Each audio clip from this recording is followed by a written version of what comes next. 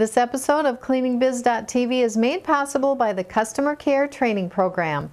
Learn to convert customers into loyal clients through exceptional customer service. I'm Jean Hanson, and this is a show that will help turn your vision into a successful cleaning business.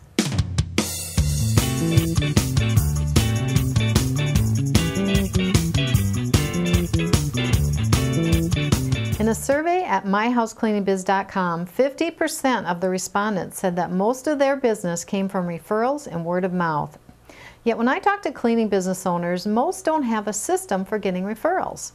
So how are they able to get people to refer their business if they aren't doing anything specific to get them? The answer is that their company is simply more referable. And here's what I mean by that. If you want people to give you honest, unsolicited referrals, your company must possess certain qualities. First, your clients must consider your company trustworthy. People do business with people they trust. You all know that. They would never consider referring you if they didn't feel you were trustworthy. So, if you and your employees are honest and do what you say you're going to do, chances are they will refer your business. Next, it's important to treat your employees as you treat your customers. Now, you may be thinking, well, what does the way I treat my employees have to do with getting referrals? Well, one of the things that we teach our employees is how we expect them to treat our customers.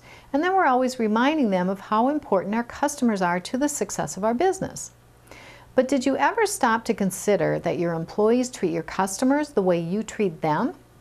Think about that the next time your behavior isn't what you'd like your customers to see chances are your employees are mirroring your behavior to your customers. Another quality your company should possess if you want to be referable is having a giver's gain philosophy. When you're out there networking, stop thinking about what you can sell or how many customers you can gain by attending this function. Instead, focus on what you can do to help other people. What can you give them to help their business? and make it a habit to give referrals to other businesses instead of always expecting others to give referrals to you. People who live by this philosophy have all the referrals they can handle.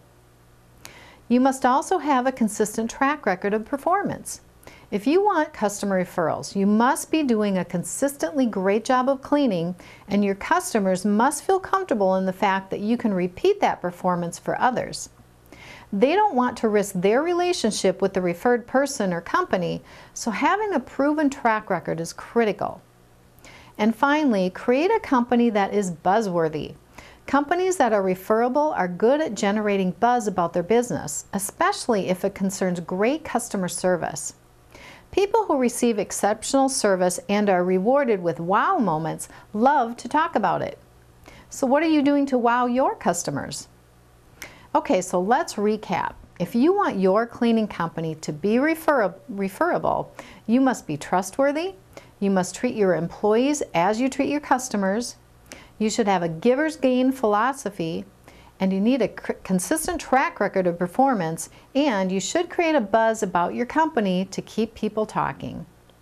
Now I'd like to hear from you. What are you doing to keep the referrals coming?